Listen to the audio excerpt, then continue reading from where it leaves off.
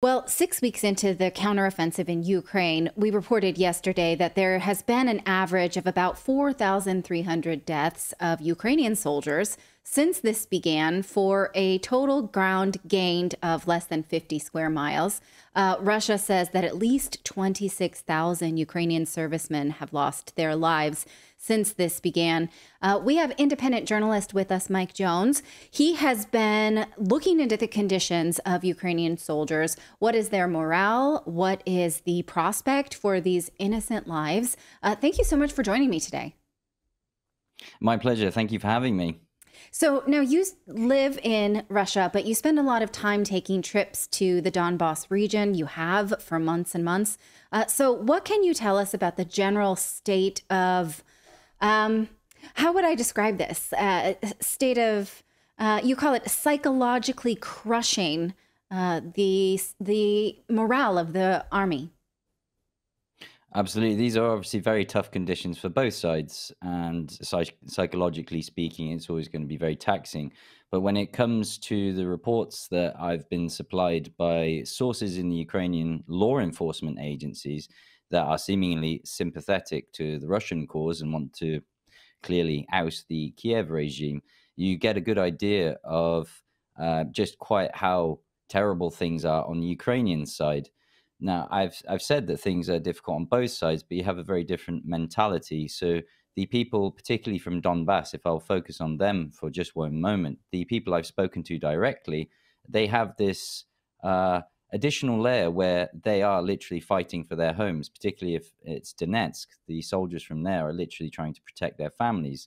This is a level of motivation that can't just be instilled in someone through instruction or training. And I'll read from the document where it states the current state of affairs in the unit leads to the lowest possible effectiveness of performance of tasks as intended, which may lead to negative consequences, loss of the defense lines, and complete loss of the combat capability. Um, many of your viewers watching will no doubt have seen videos circulating, particularly on Telegram, of these poor soldiers being rounded up off the streets, put in the back of vans, and sent straight to the front lines. They even have an officer who is responsible for what is called moral and psychological support. And in his own estimations, in there, uh, the one of these down to just 20% of moral qualities and combat capability. I mean, this just shines a light on the fact that these soldiers were never ready for a combat like this. Most of them, can you speak to the fact that they're untrained for this? Absolutely. As we've said, many of them are picked up off the street, uh, even some from camping sites, beaches in Odessa. Uh, these people are not uh, equipped or trained to deal with what is the horror of an artillery war, which of course appears the US is losing by resorting to cluster ammunition. But in particularly this case, many of those who have surrendered, uh, and this document doesn't necessarily cover those who have surrendered, just those who voluntarily left their posts. Uh, they are claiming they feel that they are being treated by their commanders as simply cannon fodder. Yes. And we saw a lot of crossover. I think it speaks to the fact that Ukrainians and Russians are so, um, you know, there's this close bond between the nationalities. Uh, during the annexation of Crimea, I think it was something like 80% of the Ukrainian military that was stationed in Crimea voluntarily then just went and said, okay, then I will join the Russian military because that seems to be where the wind is blowing. Uh, those that didn't, felt like they had some loyalty to their oath to Kiev. Uh, but then it was pointed out that that oath was to a president who was already ousted. Um, and so it doesn't seem, I, th- I guess we're not told how easy it is for them to understand, um, you know, one government towards the other. It's not like a big leap. It's not a traitorous thing, right? Is, is that a correct assessment?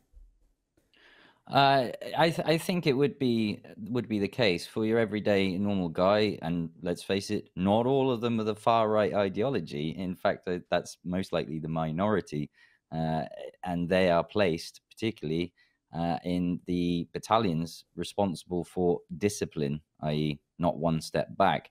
So most everyday uh, individuals are not that um, that ideology, ideologically um, subscribed to or wish to die for even the aspirations of the Kiev regime. And we see even now in Vilnius with NATO, you know, do do the people of Ukraine really want to join NATO? Uh, is it just Zelensky? Because even NATO itself agrees that it's not beneficial for Ukraine, and we're we're seeing the Ukrainian people pay with their blood as America fights to the last Ukrainian. And so we have seen on social media that the Russian army has been dropping flyers with instructions for any Ukrainians that want to uh, surrender. Um, do you have you seen evidence of that going well for them? That they are allowed a peaceful surrender and then they are treated uh, in in uh, coordination with uh, human rights laws? Yeah, I, I have. Uh, the leaflets, one example I saw was they'd printed sort of fake hryvnias, the local currency. And on there, obviously to attract the attention, on there were the contact details and the radio frequencies in order to contact the Russian units. I've seen at least three cases of these units then taking up this offer, meeting at a specified rendezvous, and then giving interviews to camera explaining why they were prompted to surrender and uh, you know what enabled them to do it. And again, why are you fighting? Now at this point, nine times out of ten, it was I was forced to. Yeah, they don't really know what they're fighting for, or they don't want to. I mean, who would want to?